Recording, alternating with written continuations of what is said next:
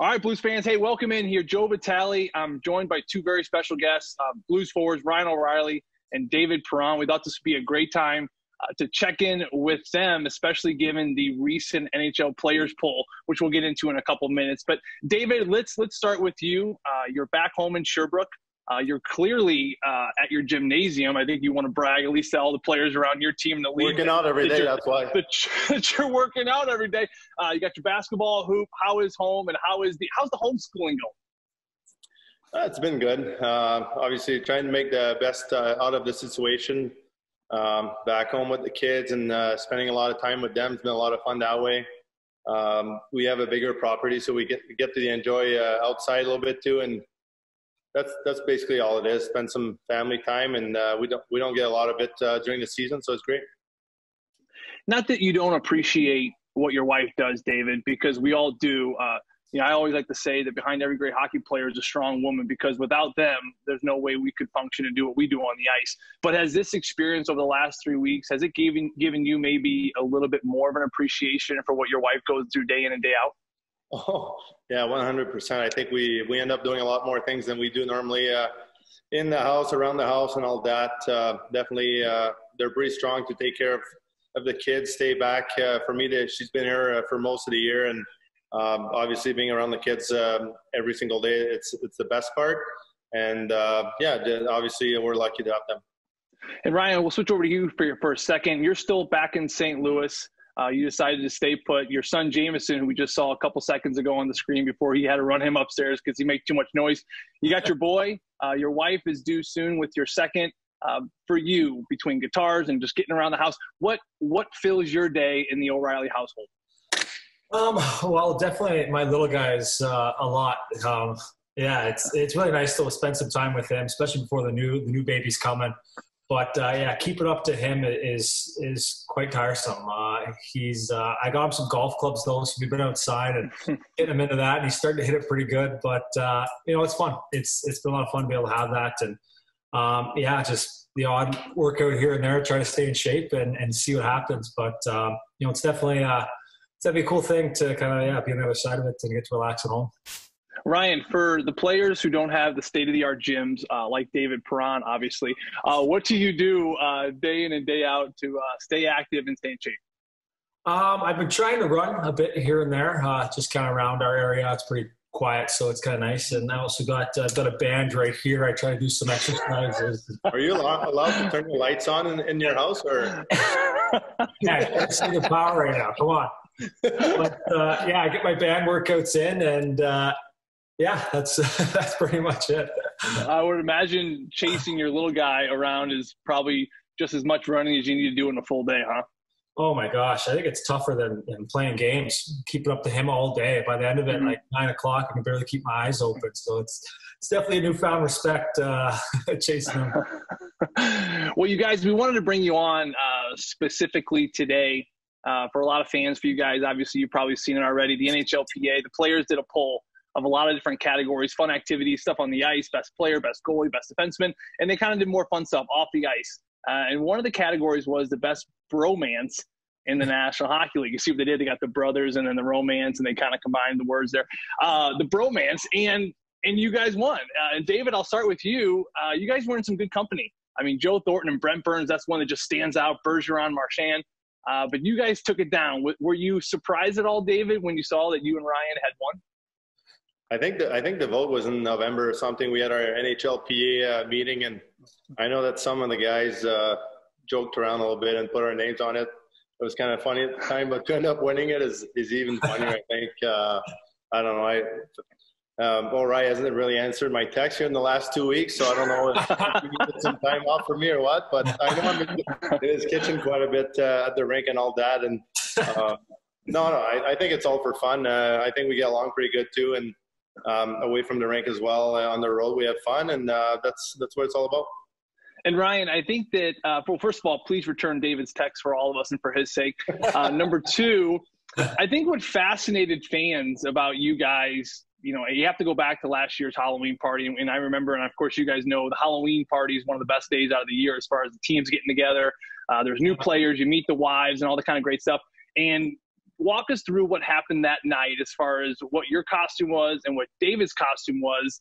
And and the rumor is that it wasn't planned. So I want you guys to come clean right now. There had to be some sort of premeditation leading into that night. Um, yeah. So the, the year before, previously, I was uh, I was just like slice of bread. I was just toast, and then um, you know I thought this year would be a good opportunity to kind of have a play on that, and I thought, well, you know, maybe French toast would be a perfect perfect way. So I kind of was able to get a nice uh, Perron name bar and number and put it on the toast. And therefore, I became French toast, and and uh, was him.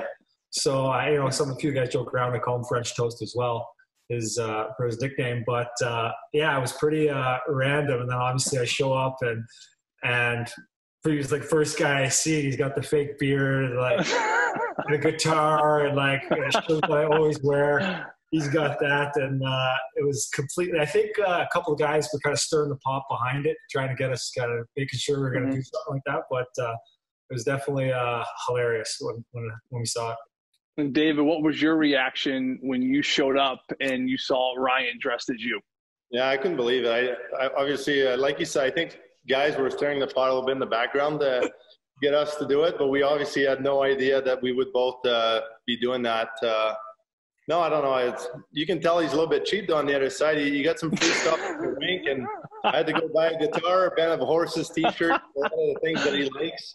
Um, a lot of inside jokes too, just just between the guys that we had fun with, and that's what it's all about. Again, uh, we have a lot of fun as a team, and uh, that, that, worked out uh, pretty good for, for the team that that night. And Ryan, David's right. I mean, you had some serious assistance from trainers because you had the the Perron number, you had the Perron logo. I would imagine they took that logo from a practice jersey.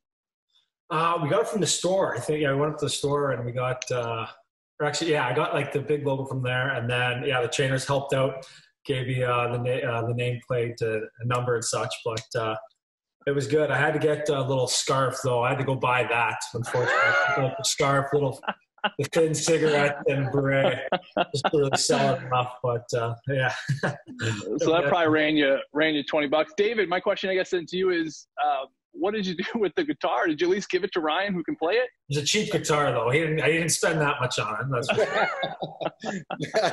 it was hard to find a guitar. I had to go to a legit store and get one. Uh, it's in my basement in St. Louis, and uh, maybe I'll try and get on it eventually one day. Who knows? But or maybe maybe he's gonna come around my house and and have a concert or something one day with the boys. And uh, I know he likes that well, I don't know if you're going to have a lot of time for uh, concerts, David. You look like you're obviously just been in the gym uh, since the season was suspended a few weeks ago.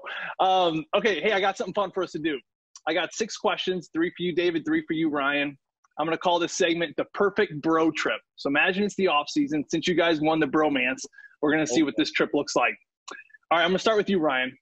Uh, your first question, and we're going to put this all together at the end. You have a trip with David this summer, one week First question for you, Ryan. Where are you going? Where are we going? We're going Ireland. Ireland. I should have guessed. I was going to say that too, actually.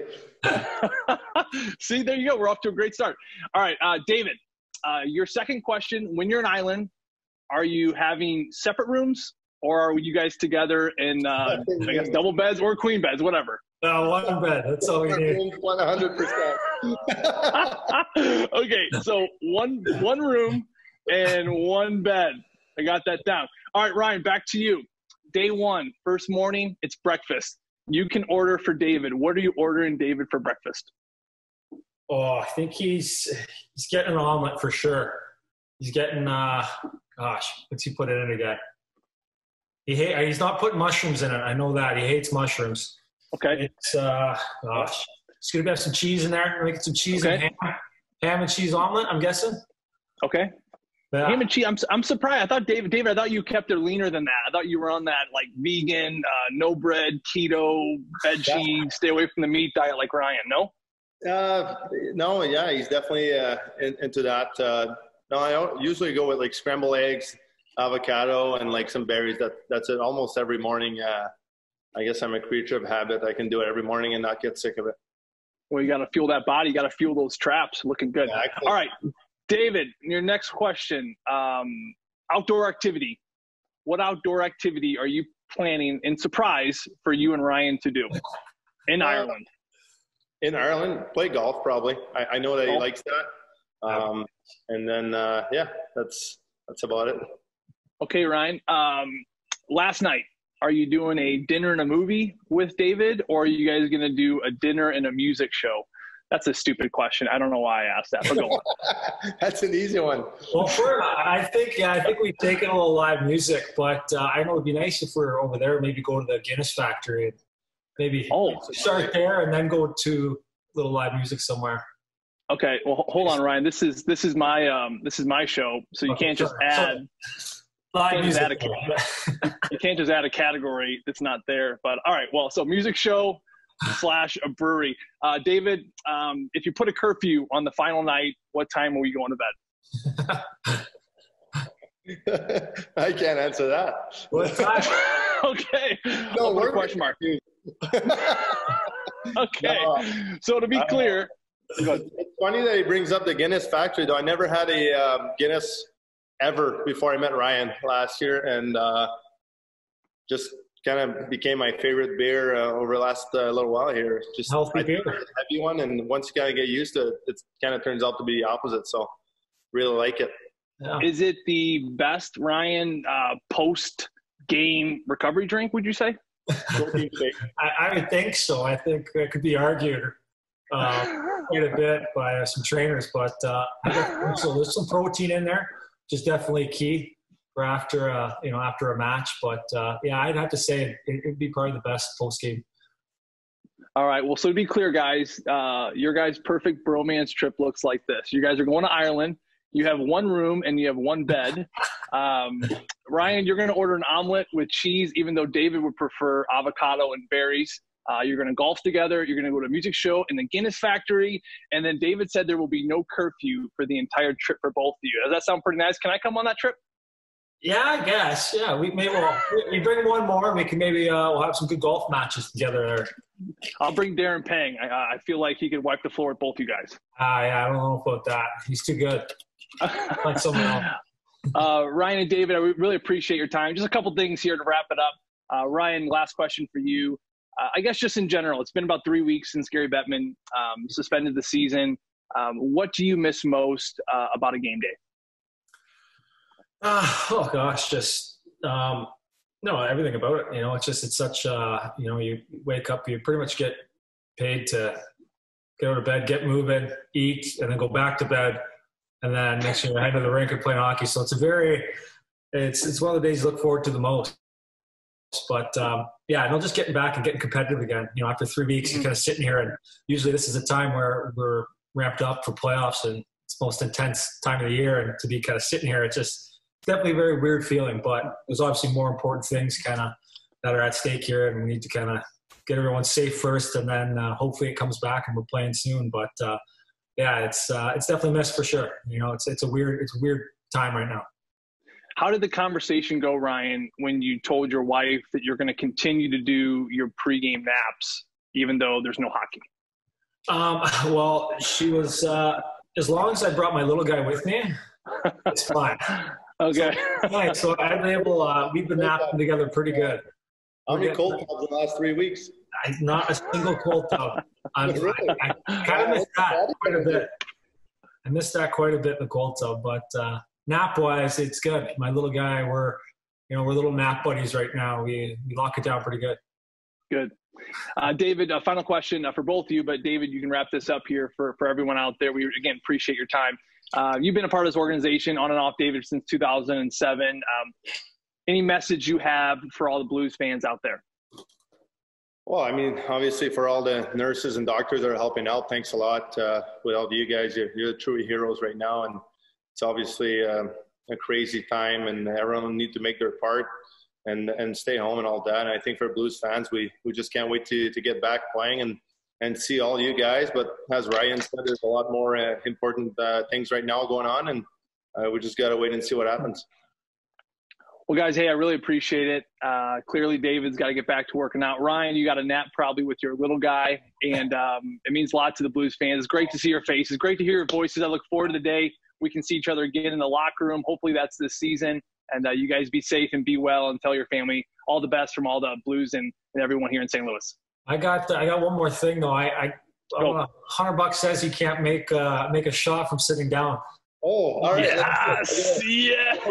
Yeah. Huh? Oh, that would have been nice. I'll, I'll, I'll give that to you. I'll, I'll buy you dinner when we get back. No problem. Nice. I like it. But thanks, Well, Joey. you know what, actually, Appreciate having before- us. Before we, before we hopped on here, David actually drained uh, one from sitting down. Dave, are you in uh, Sherbrooke? Hope you got that in camera. Guys, thanks so much for all your time. Well, thanks a lot. Be safe, guys. Talk to you soon. Appreciate it. Thank you.